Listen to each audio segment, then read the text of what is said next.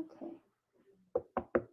Come in. Hi, I'm Shelby. I'm the VR student nurse today. I'm the first one here to provide privacy, bump bed, and do some hand hygiene.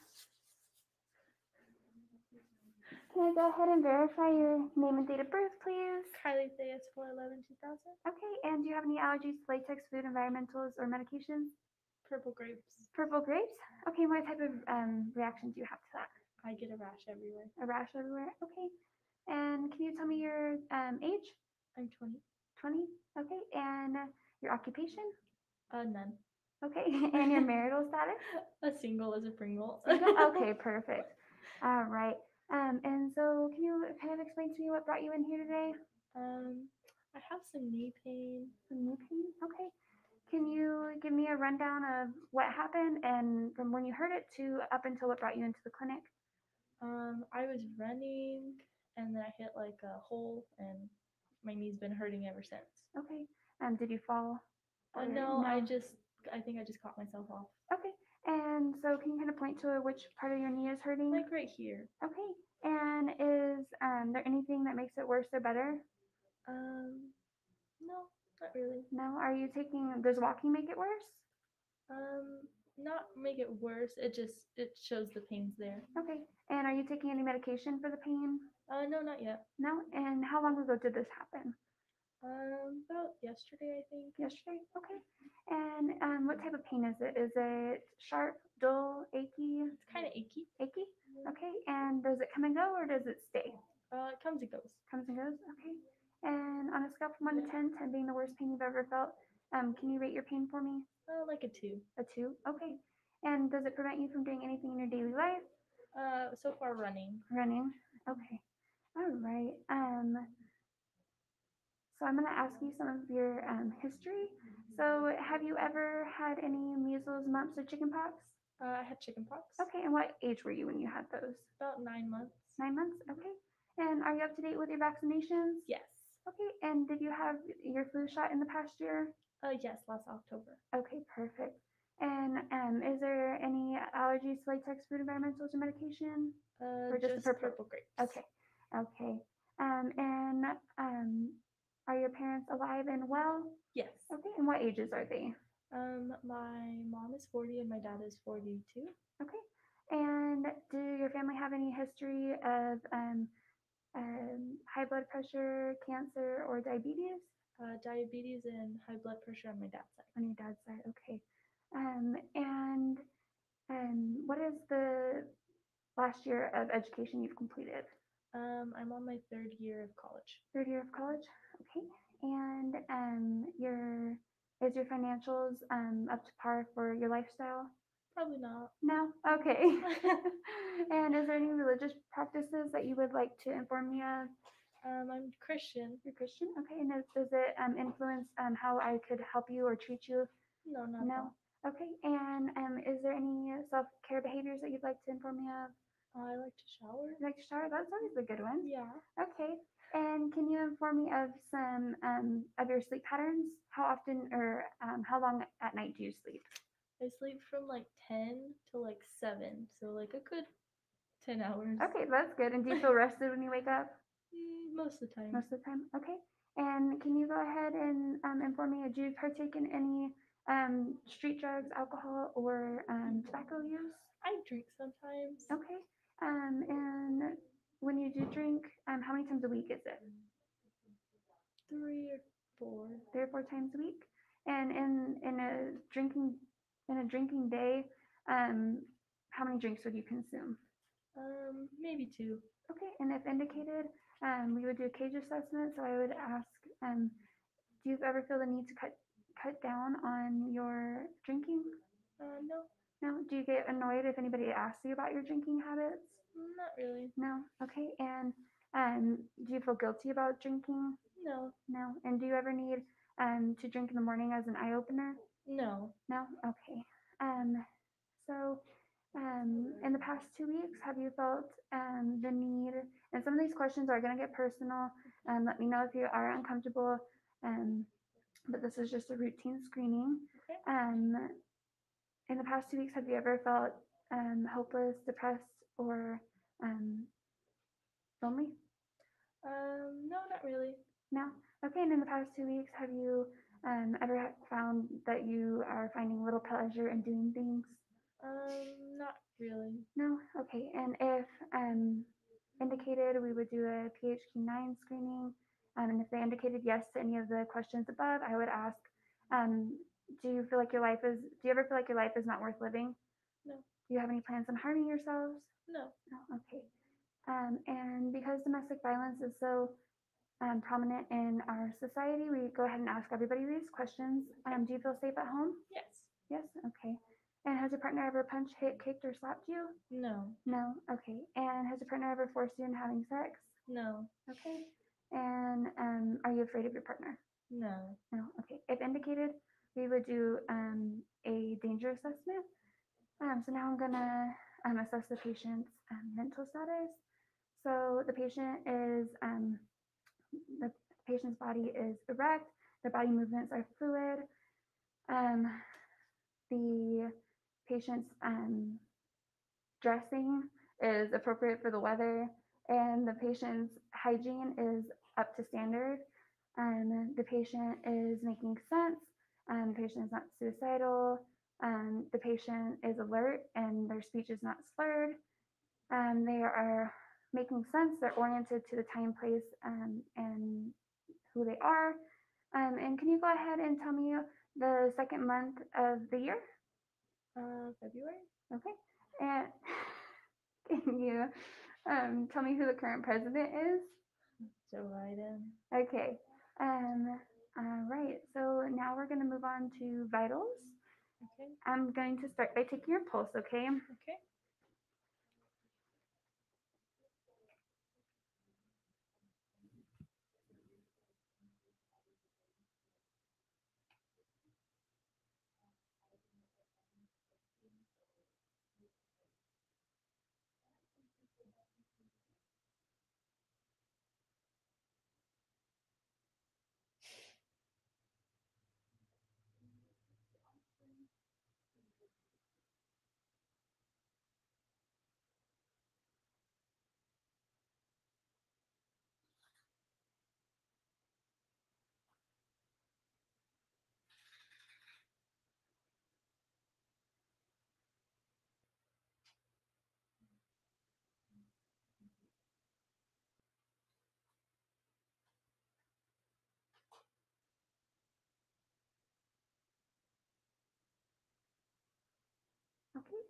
So um, your respirations were within normal range between 12 and 20.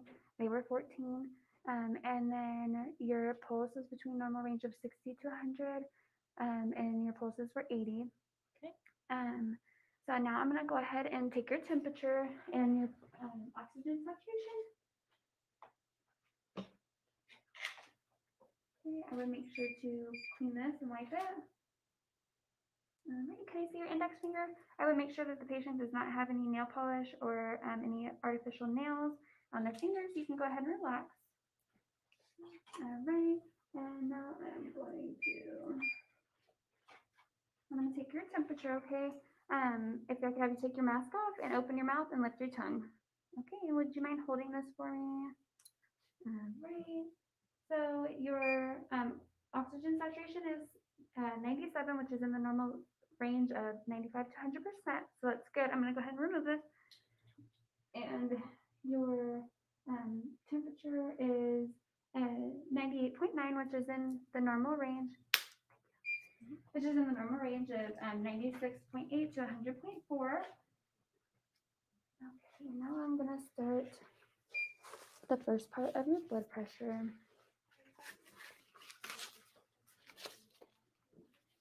Have you, so sorry, have you had any surgeries that would affect or um, any any medical conditions that would affect me taking your blood pressure on this arm? No. Okay. Do you have a preference in arms? Uh, no. Okay.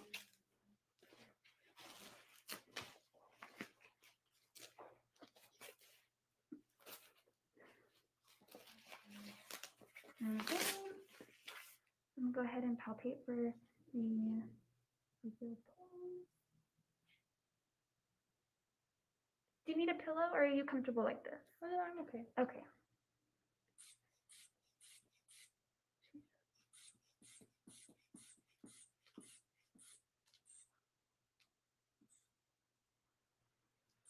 Okay, I felt it go away about 120. All right, and I'm gonna let your arm rest. You can go ahead and just relax for a minute. Um, okay. I'm gonna go ahead and, is there any other um, pain that you would like to address with me? Um. Uh, yeah, I had an ear pain. An ear pain? Okay. Um, and can you, is it on the inside of your ear or the outside of your ear? It's like inside, Inside, okay. And um, is it sharp, dull, achy, kind of dull. dull? Okay, and does it come and go or is it constant? Um, it comes and goes. It's not constant. Okay, um, and is there anything that makes it worse or better? No, No? Are you taking any medications? no. No? And on a scale from 1 to 10, 10 being the worst pain you've ever felt, um, can you rate your pain for me? It's maybe a one. Maybe a 1? Okay, yeah, so not, not too bad. okay. And does it affect anything in your daily life? Not at all. No? Okay. Um, and so now I'm gonna go ahead and finish um, the rest of your blood pressure, okay? Does your arm feel okay? Yep. Okay. Let me know if it hurts any and I will I will stop, okay? Okay. All right, go ahead and relax your arm.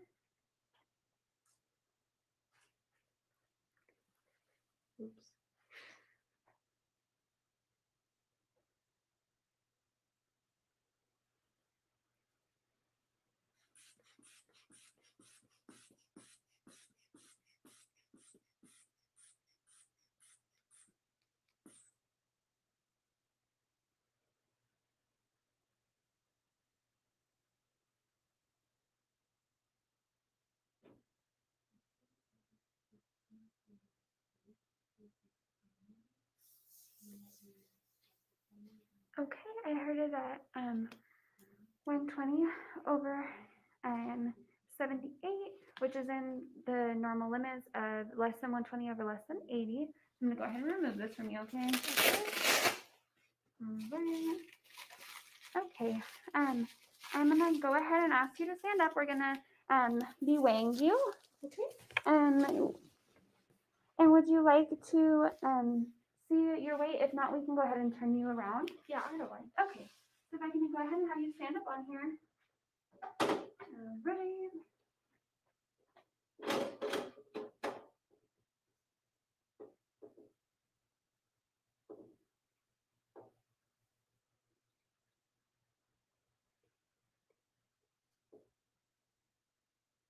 Okay, this is saying that the patient weighs um one twenty-six, but because this isn't calibrated right, the patient says that they weigh one fifty.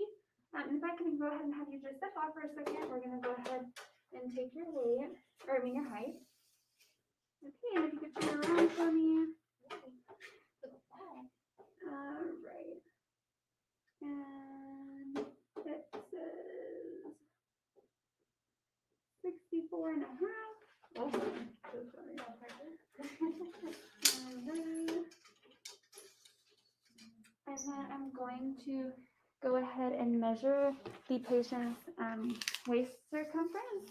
And I'm gonna go around the um, top of the iliac um, crest. Alright. So sorry, this is gonna get a little personal. Okay.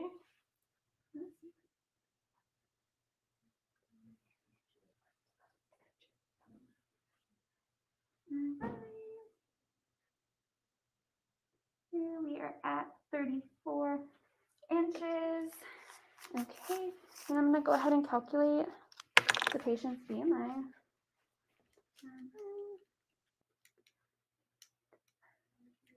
Can I sit?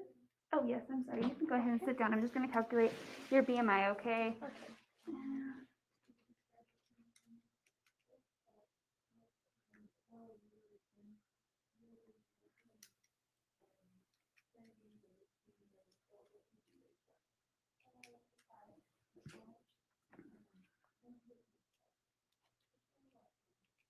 Okay, BMI is twenty-five point three. Okay, um, now I'm gonna be, um, starting a head to toe assessment. I'm gonna start at your head, um, and work my way down. If you feel any pain or you are uncomfortable at any point in time, just let me know, okay? Okay, so I'm gonna first start by assessing the patient's head first by noting, um, that it is proportionate to the patient's size. Um, do you feel any pain? Not at all. No? Okay, I do not know any um, bumps or lesions or um, depressions or anything in the skull. Um, and then um, I am gonna ask you to remove your mask for me real quick. Um, and I'm gonna ask the patient to smile. Okay, so the nasolabial folds are symmetrical as well as the corners of the mouth. Um, and then the patient's neck is erect and in the midline. Can I have you go ahead and look to your left for me? Turn, yeah, turn your whole head to the left and then turn your whole head to the right. Okay, now look up to the ceiling and then bring your chin to your chest and then bring your left ear to your shoulder and bring your right ear to your shoulder. Okay, I do not note any um, decrease in range of motion. Um, okay, so then now I'm going to start with um, your eyes. So your eyebrows are symmetrical. Your um, eyes are um, in the correct position. They are not exophthalmos, which is protruding, or enophthalmos, which is sunken in. Um, can I have you blink for me? The patient is able to shut their eyes completely. There is no redness or swelling around the lash line, and the lashes are evenly distributed. The, um, the sclera is white and glossy, and the conjunctiva is pink. Do not note any um, discharge. And then um, the patient's um, lips are pink with um, no drying. Can I have you stick your tongue out for me? Okay, I do not note any. Um, the patient's tongue is moist. There's no lesions or anything, um, white patches on the tongue. Um, and then the patient's ears are bilaterally symmetrical. I do not note any thickness or redness or swelling around the ears. The skin is intact. There's no lesions or bumps.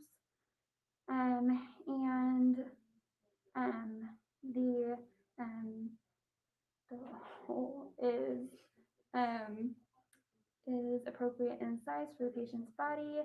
And um, I'm going to be feeling around. Okay, let me know if you feel any pain. I'm going to do this Okay. side and then this side. Okay. Do you feel any pain back here? No, No. Any pain when I push here? no, No. And any pain when I move? No, No. Okay, and let's do this side. Any pain when I push here? No. Anything when I move this? No. No. Any pain when I push there? No. No. Okay, and I do not notice any um cerumen. And then if there was any, um, I would note the color and texture of it. Um, and um, the nose is in the midline. Sorry. Um, okay, and so now I'm gonna um, assess the hair is um, evenly distributed. There, it is smooth. It's not dry and brittle. Um, and then I'm gonna go ahead and assess the skin. Okay. Um, if I could have you pull up your sleeves for me. Okay. And is there any um, let me see. Is there any um, wounds or lesions that you know of that you're aware of that you'd like me to inspect? No. No. Okay, and I would do a full skin assessment on the patient and make sure to check especially the back or areas that they cannot see. Um, and okay, so I'm gonna the pigmentation of the person is um, appropriate for their genetic background. I'm gonna go ahead and assess for temperature. Okay, the patient is warm um, bilaterally, there is no hypothermia or hyperthermia. Um, and I'm going to go ahead and assess your nails. Can I see your hands? Okay, so the patient's nails are smooth. and there is um, no apparent biting to the quick. I'm going to check your capillary refill. Okay, and the capillary refill is less than two seconds. Um, and then I'm going to check for edema. Okay, I don't know any edema. Um, if there was any, plus one is mild, plus two is moderate, plus three is deep, plus four is very deep. Um, and then I would make sure to check edema on the legs as well. Okay, I don't know any notes any edema on the legs. Um, and then we're gonna go ahead and do um, an eye assessment. Okay, I'm gonna have you stand up um, 20 feet away from the Snellen chart, which is on this back wall over here.